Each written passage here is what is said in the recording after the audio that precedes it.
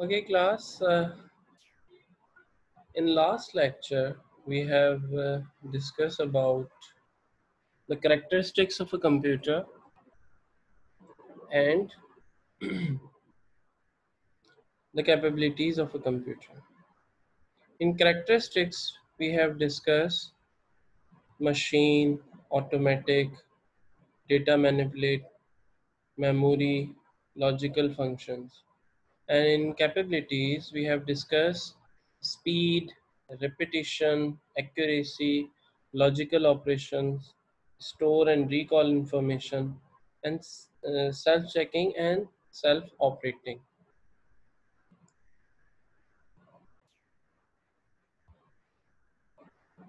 Okay, if you have any question, then you can uh, post me on a chat section.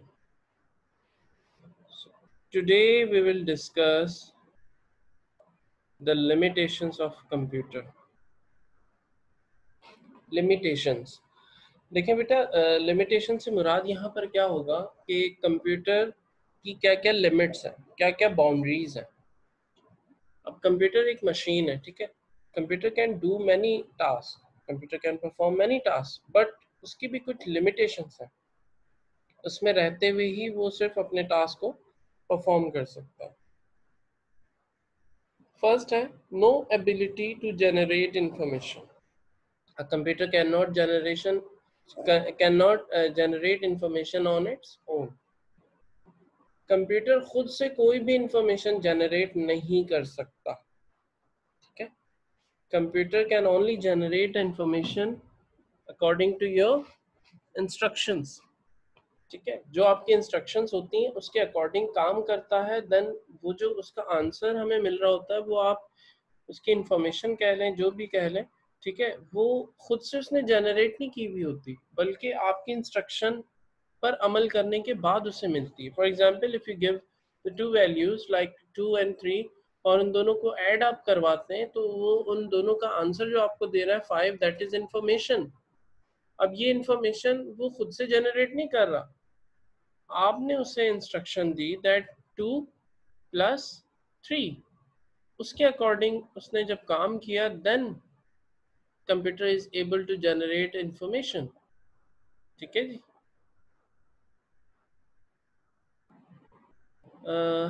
Okay next is no ability to correct देखिए बेटा computer जो है, वो एक device है, एक machine है। कंप्यूटर में ये एबिलिटी भी नहीं मौजूद कि वो खुद से एक रॉन्ग इंस्ट्रक्शन को करेक्ट कर सके। Computer can not correct wrong instruction computer can notify you that there is some mistake, but वो खुद से उसको करेक्ट नहीं करेगा। अच्छा यहाँ पर ये याद रखिएगा ये जितनी भी बात हो रही होती है ना कि करेक्ट करेगा नहीं करेगा ये तमाम प्रोग्रामिंग से रिलेटेड है ठीक है? जो उसके, उसको आप इंस्ट्रक्शन देते हैं, उनके बाद जो वो टास्क परफॉर्म कर रहा होता है, उससे रिलेटेड है। फॉर एग्ज़ाम्पल आपने देखा होगा एम एस वर्ड पे भी आप काम कर रहे होते हैं। समटाइम आप स्पेलिंग मिस्टेक करते हैं तो वो एक लाइन रेड नीचे दे रहा होता है, ठीक है? और बहुत से ऐसे वर्ड होते हैं कि आप रॉन्ग भी अगर लिख देते हैं तो वो उसको ऑटोमेटिकली करेक्ट कर रहा होता है। यहाँ ये जो बात है ना नो एबिलिटी टू करेक्ट ये यहाँ जो बात की जा रही है प्रोग्रामिंग से रिलेटेड है। ये एम एस वर्ड वगैरह पे जो हो रहा होता है ऑटोमेटिक चेंज उस पर रहते हुए नहीं है, ठीक है? वो तो एक सॉफ्टवेयर ऐसा बना दिया गया है एम एस वर्ड की अगर मैं बात करूँ तो उसमें कुछ इंटेलिजेंस बीच में ऐड कर दी गई है, ठीक है? इंटेलिजेंस कहेंगे इसको कि जो कि क्या करते हैं कि आप जब एक वर्ड लिख रहे होते हैं तो वो उसे ऑटोमेटिकली सेंस कर लेता है कि आप क्या लिखना चाह रहे थे, ठीक है? तो वो उसके नेरेस्ट जो वर्ड बन रहे होते हैं उनकी सजेशन आपको दे रहा होता है या उसके अकॉर्डिंग जो है आपको सजेस्ट कर रहा होता है कि आपने जो है रॉन्ग स्पेलिंग लिखी है। But we are discussing here that no ability to correct it means कि आप जब एक प्रोग्राम लिखते हैं और उस प्रोग्राम में अगर कोई मिस्टेक है when you run the program then computer will notify you that there is some mistake.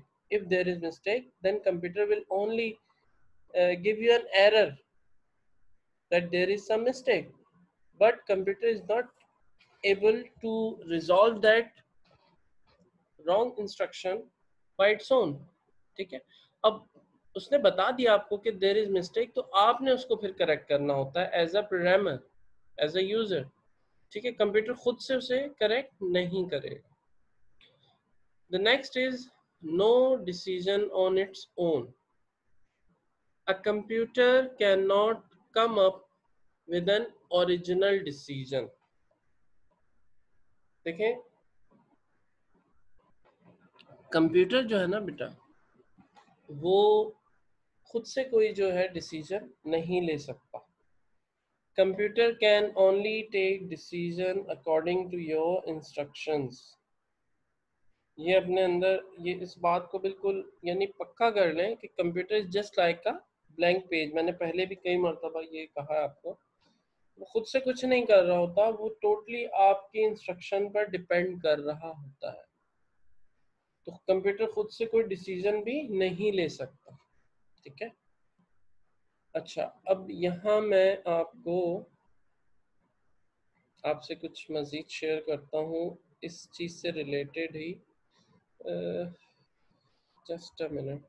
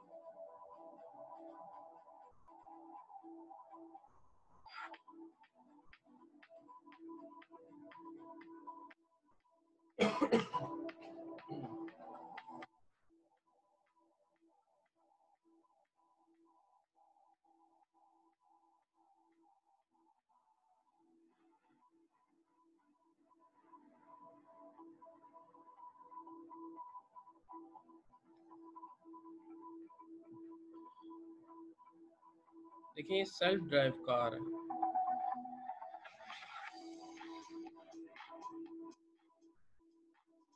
Car जो है वो ऑटोमेटिक डिसीज़न ले रही है।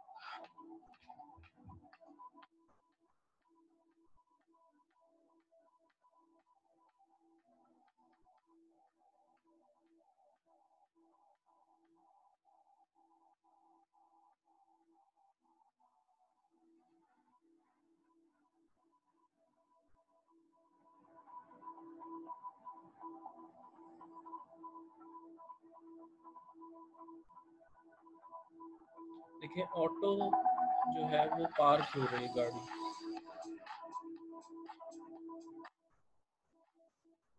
सब कुछ ऑटो कंट्रोल हो रहा है।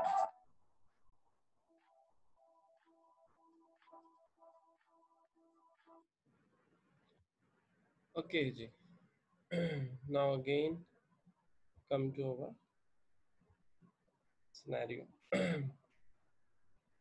अब मैं आप लोगों के माइक जरा खोल रहा हूँ, ठीक है?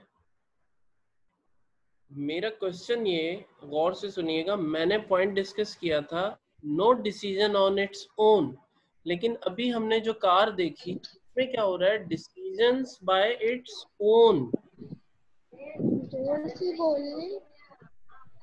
अब मुझे जरा इस बारे में एक्सप्लेन करें। बेटा देखें अगर आप लोग बोल नहीं रहे ना तो अपना माइक खुद म्यूट कर दें ठीक है? मैं आप लोगों की डिस्कशन जो है वो इंक्लूड करना चाह रहा हूँ क्लास में। तो जितना चाह रहे हैं काइंडली रेज योर हैंड ठीक है बेटा? जैद मैं आपका माइक खोल रहा हूँ जैद। सर फिर भी हमने उसको तो नेविगेट नेविगेट नेविगेशन ऑप्शन तो दिया है ना वरना हम नहीं देते तो वो जाता कैसे? Good try good try anyone else जी और कोई? Raise your hand Hari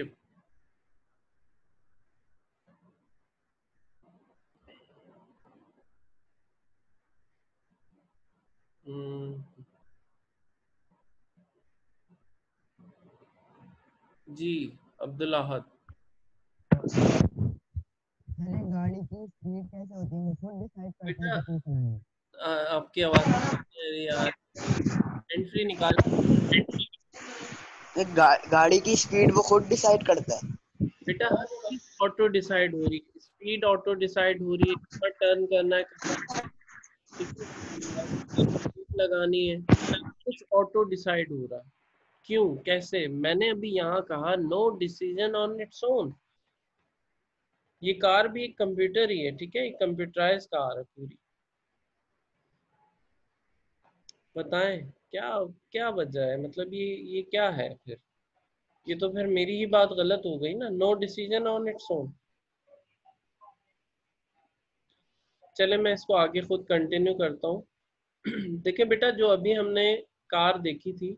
अच्छा इस वीडियो का लिंक भी मैंने आप लोगों को चैट में सेंड कर दिया। उसकी वजह ये है कि ज़ाहिर है मैं यहाँ से जब वीडियो आपको प्ले करके दिखा रहा हूँ तो वो रेंडर बहुत स्लो स्लो होती है। I know about it Zoom में जो आपको दिखती है तो बाद में इसको प्ले कर लीजिएगा, ठीक है? अभी मत प्ले कीजिएगा, हम कंटिन्यू लेक्चर को करते हैं।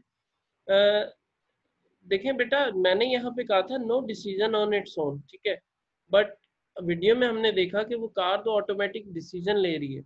यहाँ जहन में रखिएगा, उस कार में बेटा क्या किया गया है? आर्टिफिशियल इंटेलिजेंस को बिल्ट इन किया गया now what is artificial intelligence artificial intelligence असल में प्रोग्रामिंग का एक ऐसा, समझ लीजिए, हिस्सा होता है, जिसमें आप जो, वो कार है ना, उसको, उसका जो मॉडल है, उसको इतना ज़्यादा, यानी एडवांस कर दिया गया है कि उसमें एक पूरा एक सब्जेक्ट है, जिसे मशीन लर्निंग कहते हैं, वो उसमें बिल्टन है, ठीक है? यानी वो एक ऐसी मशीन है जो कि अपने नेयर अराउंड जितने भी उसके ऑब्जेक्ट्स हैं, उनको देखते हुए उनसे लर्निंग करती है ठीक है? और उनके अकॉर्डिंग जो है डिसीज़न लेती। इस कार में बहुत ही हाई क्वालिटी के सेंसर्स लगे हुए हैं, जो कि इसको चारों साइड से जो है, वो डिसीजंस लेने में हेल्प कर रहे होते। There is a 380 degree sorry 360 degree angle पे जो है ना उसमें यानी एक सेंसर लगा होता है जो कि उसके पूरे 360 डिग्री एंगल को कवर कर रहा होता है। व्हाट डू मीन बाय 360 360 का मतलब होता है पूरे, यानी रेडियस में जो है उस कार के, उसको सेंस कर रहा होता है। वो जो आपको ब्लू कलर का एनिमेटेड एक सर्कल दिख रहा था, वो एक्चुअली उसी को रिप्रेजेंट कर रहा था। तो वो कार जो है अपने लेफ़्ट राइट बैक फॉरवर्ड हर साइड से आने वाली हर कार को देख सकती है सेंस कर सकती है उनके अकॉर्डिंग जो डिसीज़न लेती है कि अगर उसके आगे अचानक से कोई कार ज़्यादा करीब आती है तो वो कार क्या हो जाती है स्लो स्पीड कर लेगी या इवन ब्रेक भी लगा देगी। जैसे कि आपने देखा था उसमें एक आ, पार्किंग की साइड पे ही एक आदमी जैसे ही आगे आ जाता है तो वो कार फ़ौरन वहाँ स्टॉप हो गई थी। तो ये ऑटोमेटिक डिसीज़न लेती है ठीक है? अब ये जो बात मैंने कही no decision on its own ये क्या है कि अगर जब तक आप उसको इंस्ट्रक्शन नहीं देंगे कंप्यूटर को या कार को तो वो काम नहीं करेगी। लेकिन वहाँ उस कार में इंस्ट्रक्शन उसे किस तरह मिल रही है? उसे इंस्ट्रक्शंस मिल रही हैं उन सेंसर्स की मदद से, ठीक है? तो आउटसाइड इंटरवेंशन वहाँ पर मौजूद है, इस वजह से, ठीक है? तो ये जहन में रखिएगा, क्योंकि ये जो वर्ड है no decision on its own ये जब सुनेंगे और आप इस तरह के आर्टिफिशियल इंटेलिजेंस बेस्ड चीज़ें देखेंगे तो आपके दोनों एक दूसरे के अगेंस्ट बात लगेंगी ठीक है? लेकिन यहाँ पर जो पॉइंट था वो मैंने आपको एक्सप्लेन कर दिया। अच्छा सेकंड एक और चीज़ मैं आपको बता दूँ। ये जो मैंने आपको वर्क दिया था इसमें आ, ये वाला जो ऑपरेशन वाला पॉइंट था ना बेटा और मेमोरी वाला पॉइंट शायद आप लोगों ने नोट किया है या नहीं ये दोनों का जो टेक्स्ट था वो सेम हो गया था ठीक है? तो मैं ये दोबारा अपलोड उस फ़ाइल की जगह कर दूँगा सेम प्लेस पे, ये करेक्ट कर लीजिएगा। Now we will discuss about the contribution of Charles Babbage Charles Babbage का नेम आप लोगों ने सुना होगा, ठीक है? चार्ल्स बेबिज के लिए एक वर्ड बहुत मशहूर है। क्या है आपके ख्याल में वो वर्ड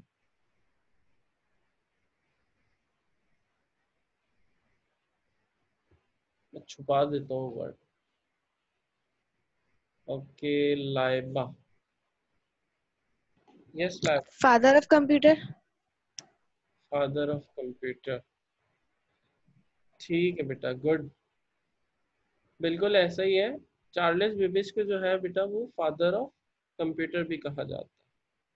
ठीक है, मैंने छुपा दिया था, सामने लिखा हुआ था। Okay the most deserving name in the list of such pioneers of Charles Babbage 1791 to 1871 Charles Babbage जो थे, वो उनको पायोनियर कहा जाता है। पायोनियर कहते हैं जो इब्तदा करता है, किसी चीज़ की शुरुआत करता है, ठीक है?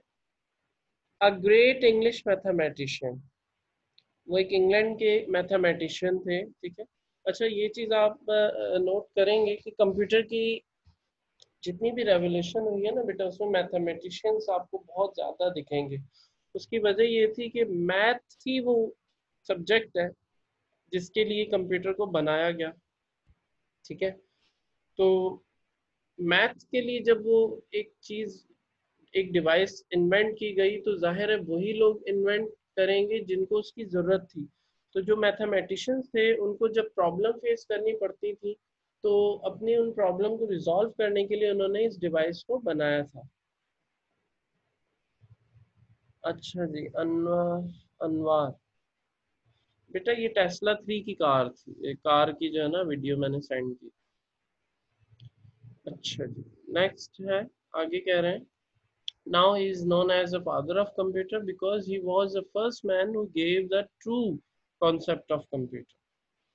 अच्छा इनको देखिए फादर ऑफ़ कंप्यूटर बेटा क्यों कहा जाता है? क्योंकि ये पहले वो शख्स थे जिन्होंने एक कंप्यूटर का एक सही स्ट्रक्चर जो है, या एक सही कॉन्सेप्ट जो है स्ट्रक्चर नहीं कॉन्सेप्ट जो है, वो दिया था। ठीक है? जो आज हम कंप्यूटर इस्तेमाल करते हैं, इसका जो कॉन्सेप्ट था, वो चार्लेस बेबेज ने दिया था। चार्लेस बेबेज ने बनाया नहीं था। चार्लेस बेबेज ने ये कंप्यूटर जो आज हम यूज़ करते हैं, ये उन्होंने बनाया नहीं था। लेकिन उन्होंने कॉन्सेप्ट दे दिया था इसका कि इस तरह से एक मशीन होगी। ठीक है? जो जो ये तमाम काम जो है कर सकेगी। इसमें मेमोरी भी होगी और बहुत सी चीज़ें, ठीक है? तो उन्होंने कॉन्सेप्ट दे दिया था। Only a part of this engine was ever constructed अच्छा उस वक्त जब वो ज़िंदा थे तो उन्होंने जो चीज़ एक्चुअली बनाई थी, उन्होंने एक इंजन बनाया था, ठीक है? वो क्या है? आगे इसमें अभी देखेंगे आप।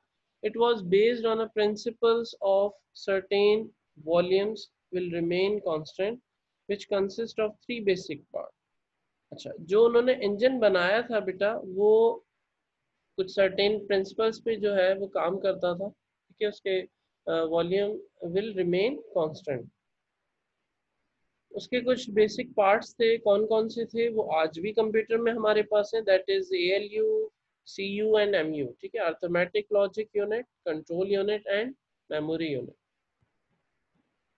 in 1834 he envisioned and designed the first programmable general purpose called action machine called analytical engine. इन्होंने बेटा उस वक्त जो एक इंजन बनाया था 1834 में, वो एक ऐसा इंजन था जो कि पहला प्रोग्रामेबल जर्नल पर्पस कौन था? यानी मशीन थी। एक ऐसा इंजन था जिसको आप प्रोग्राम्ड भी कर सकते थे, ठीक है? तो चूँकि आज का कंप्यूटर जो है वो क्या है? एक प्रोग्रामेबल मशीन होती है। तो उस वक्त, उस दौर में इन्होंने एक ऐसा इंजन बना दिया था जो कि जिसमें हम प्रोग्राम भी लिख सकते थे, ठीक है? वो प्रोग्राम के अकॉर्डिंग जो है वो काम करता था। Charles Babbage never converted his dream into reality वो अपने ख्वाब को जो था, जो उन्होंने ख्वाब देखा था, उसको रियलिटी में बदल नहीं सके थे because the standard of engineering and technology was not so high at that time.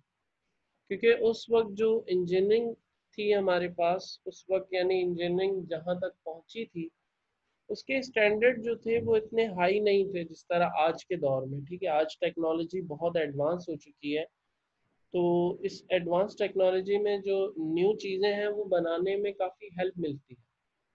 लेकिन उस दौर में ऐसा पॉसिबल नहीं था। यही वजह है कि वो अपने इस ख्वाब को जो है, वो रियलिटी में बदल नहीं सके थे अपनी ज़िंदगी में। लेकिन उनके वफात के बाद जो है, इस काम को आगे कंटिन्यू बहुत से साइंटिस्ट ने रखा, बहुत से मैथमेटिशियन ने रखा और उन्हीं की बदौलत जो है, वो आज हमारे पास एक बेहतरीन कंप्यूटर मौजूद है हमारी डेस्क पे, ठीक है? हमारी डेस्क में, हमारी पॉकेट में आ चुके हैं सेलफोन की सूरत में। तो फादर ऑफ़ कंप्यूटर बेटा इनको इसीलिए कहा जाता है क्योंकि उन्होंने एक कॉन्सेप्ट दे दिया था, ठीक है? जो आज का कंप्यूटर है, इसका कॉन्सेप्ट दिया था, जिसकी वजह से उनको फादर ऑफ़ कंप्यूटर कहा जाता है।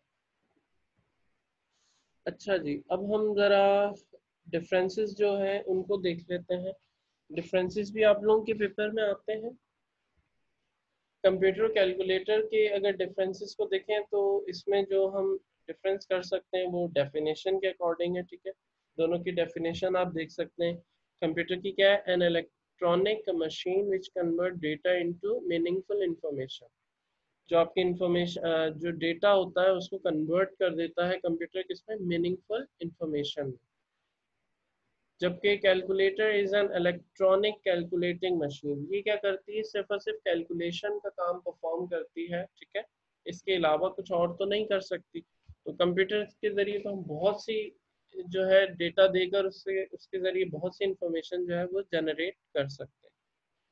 मेमोरी की बात करें computer has the ability to store huge amount of data जबकि calculator has a small memory ऐसा नहीं कि कैलकुलेटर में जो है वो आपके पास मेमोरी नहीं होती मेमोरी होती है, लेकिन बहुत कम होती है। लेकिन कंप्यूटर में जो मेमोरी है, वो हमारे पास बहुत ज़्यादा होती है। अच्छा जी। Next operation beside numeric data it can also process alphabetic and alpha numeric data अच्छा। Beside numeric data it can also process alphabetic and alpha numeric data देखिए अगर हम कंप्यूटर की बात करें तो वो सिर्फ़ न्यूमेरिक डेटा को ही प्रोसेस नहीं करता। वो अल्फ़ा बेट्स के जो डेटा है उसको भी प्रोसेस करता है और अल्फ़ा न्यूमेरिक को भी। अल्फ़ा न्यूमेरिक होता है जो कि आपके अल्फ़ा प्लस न्यूमेरिक कीज होती हैं, ठीक है? यानी for example A one grade तो ए वन, ए क्या है? अल्फ़ा है, ठीक है? अल्फाबेट्स में और वन क्या है? न्यूमेरिक ऑर्डर है। तो इसको कहते हैं अल्फ़ाबेट अल्फ़ा न्यूमेरिक डेटा, ठीक है? तो कंप्यूटर जो है बेटा वो सिर्फ़ न्यूमेरिक वैल्यूज़ को ही प्रोसेस नहीं कर सकता, वो अल्फ़ा न्यूमेरिक वैल्यूज़ को भी जो है वो प्रोसेस कर सकता है और अल्फ़ाबेटिक्स को भी। अच्छा अगर ऑपरेशंस की बात करें कैलकुलेटर के सेंस में it can process only numeric data calculator हमारे पास सिर्फ़ और सिर्फ़ न्यूमेरिक वैल्यूज़ को जो है वो प्रोसेस करता है। कीज की बात करें computer has keyboard having various keys for performing various function approximately uh, uh, 104 or 105 and more than these also available. ठीक है, जबकि कैलकुलेटर में हमारे पास बहुत ही लिमिटेड कीज होती हैं। If we talk about its screen, then computer has a wide screen called monitor ठीक है, जबकि कैलकुलेटर के पास एक बहुत ही छोटी सी स्क्रीन होती है। And mostly calculator has seven segment display seven segment display वो डिस्प्ले होता है जिसमें वो एट की सूरत में हर डिजिट को प्रिंट कर रहा होता है।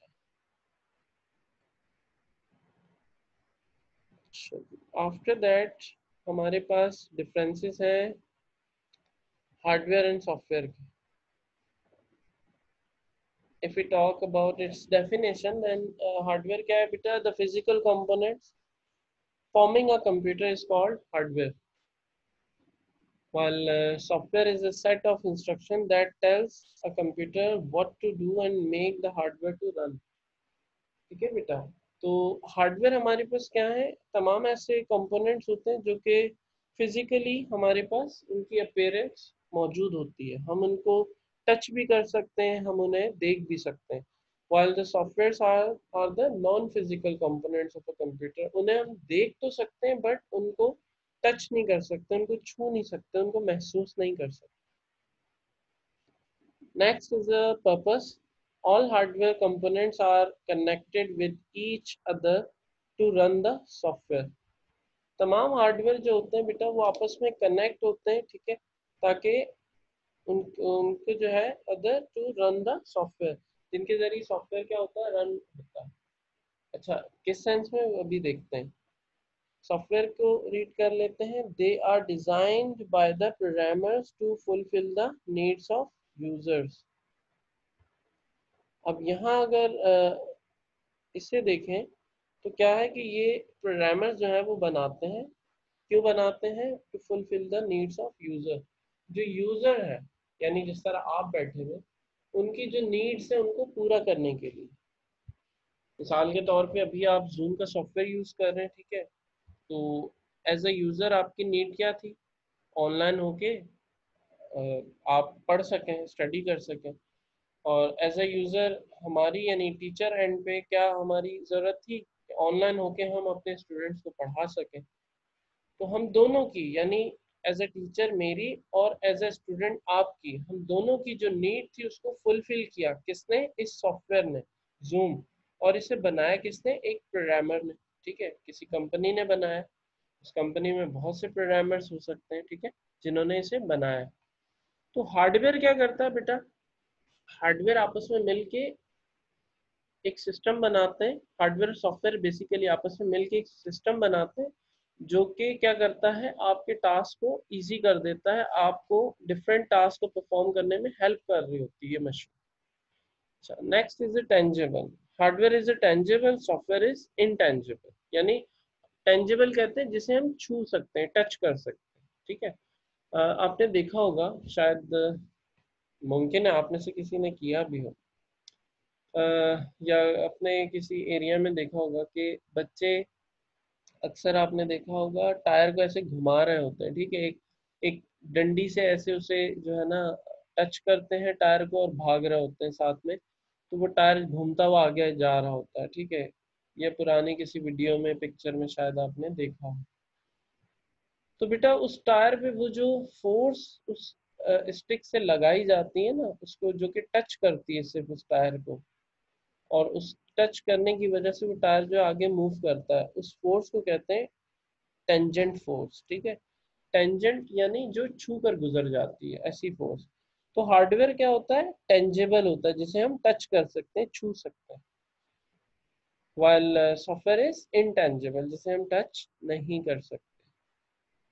Next types there are no special type of hardware hardware की कोई स्पेशल टाइप नहीं हार्डवेयर बहुत सी तरह के होते हैं है? Well there are two types of software system software and application software जबकि सॉफ्टवेयर की अगर बात करें तो इनकी टू बेसिक टाइप्स हैं system software and application software और फिर ये फर्दर अपनी मजीद कुछ टाइप्स में टूटते हैं. फॉर एग्जांपल सिस्टम सॉफ्टवेयर की बात करें तो उसमें हमारे पास और बहुत सी टाइप्स आती हैं जिसमें हमारे पास ऑपरेटिंग सिस्टम होते हैं, जिसमें हमारे पास आप कह सकते हैं डिफरेंट ड्राइवर्स होते हैं यूटिलिटी सॉफ्टवेयर होते हैं और बहुत सी चीज़ें होती हैं। जबकि एप्लीकेशन सॉफ्टवेयर क्या होते हैं? वो सॉफ्टवेयर जो आपके ऑपरेटिंग सिस्टम के ऊपर रन हो रहे होते हैं। फॉर एग्ज़ाम्पल अभी इस वक्त जैसे ये नोट्स मैंने ओपन किए सामने आपके तो ये मैं पीडीएफ यूज़ कर रहा हूँ, ठीक है? तो PDF is a application software while the operating system which I'm using here, for example, Windows 10 this is our system software. ठीक है? तो सॉफ्टवेयर की भी डिफरेंट टाइप्स होती हैं। इसी तरह आप जूम सॉफ्टवेयर इस्तेमाल कर रहे हैं तो that is also the type of application software examples देखें, नीचे दी हुई हैं। हार्डवेयर के हमारे पास keyboard mouse printer monitor scanner and so on और if you talk about the softwares then there we have uh, ms office antivirus software and many other softwares also. So this is the end of today's lecture. If you have any question then you can ask me